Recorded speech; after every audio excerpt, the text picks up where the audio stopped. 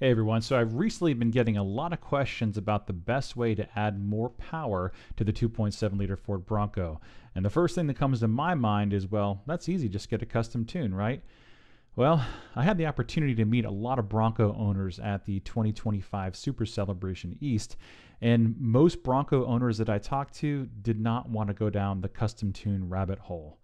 So today I want to talk about three mods that will get your 2.7 liter Ford Bronco to produce around 400 horsepower and 500 foot-pounds of torque at the crank. Don't worry 2.3 liter owners, I'll have a follow-up video highlighting top mods for you very soon. Now, a lot of you might be wanting more power because you just put on heavier tires for better off-road performance, uh, or maybe you want more fun in the dunes, or maybe easily pass that pesky Jeep Wrangler that's driving 10 under in the fast lane. Regardless of your reasons, one thing is for sure more power equals more fun. All right, so let's start and take a look at the heart of the today's performance gains. Now this is the Pulsar XT. It's an inline performance module that leaves your factory ECU untouched. That means zero trace when removed, perfect for those dealership visits. Now, the Pulsar XT is said to provide up to 55 more horsepower and 69 foot-pounds of torque, all while improving drivability and throttle response. In fact, the marketing team over at Superchips put their Bronco on the dyno and saw gains up to 49 horsepower and 79 torque. That was the device set to the highest power level. Now, speaking of power level, the Pulsar XT has five of them. You can switch between all of them on the fly using a Bluetooth switch or your smartphone. Some other cool features of the Pulsar is to adjust throttle sensitivity, calibrate the speedometer for bigger tires, disable auto start stop, and more. It even includes cold engine protection so the power isn't added until you're up to operating temperature. This is the most feature packed module available and happens to be my favorite piggyback tuner for the Ford Bronco. Next up is the CV Fabrication intercooler. This is an absolute must and critical for keeping those intake temperatures low and power consistent. There's no sense in adding all that power with the Pulsar XT just for your Bronco to get heat soak and not realize any of those gains. Now this intercooler does feature 58% greater internal core volume and 144% increase in external fin surface when compared to the OEM intercooler. It's also the most cost-effective intercooler for the Ford Bronco as it comes with a lifetime warranty and CV Fabrication does not charge for shipping or tax. Now one thing to note is that you will need to remove the factory grille shutters at the front of your Bronco, but installation for this intercooler is very easy in my opinion.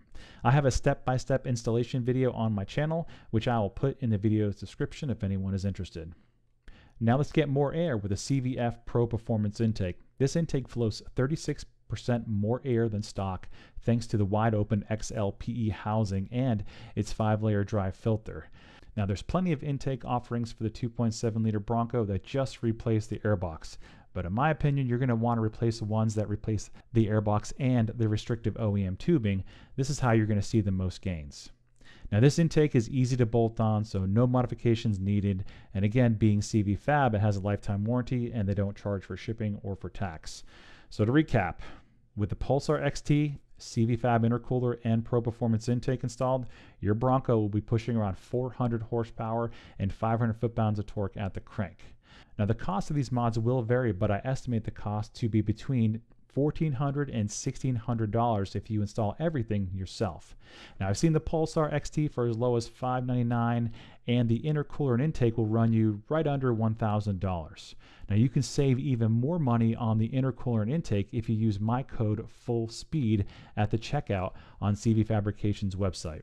Now I tested a similar setup on my personal Sasquatch equipped Bronco and reached 0 to 60 in the mid 5 second range and the quarter mile and high 13s using 93 octane.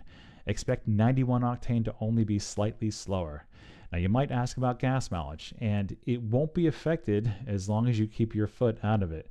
In fact, if you've been using 87 or 89 octane, you might actually get better gas mileage since you'll be needing to use premium gas with these modifications.